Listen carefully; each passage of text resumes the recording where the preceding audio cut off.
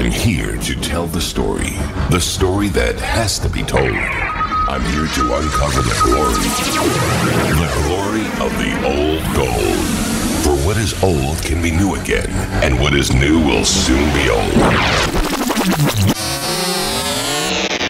And remember, everything you hear is real. Real Retro House.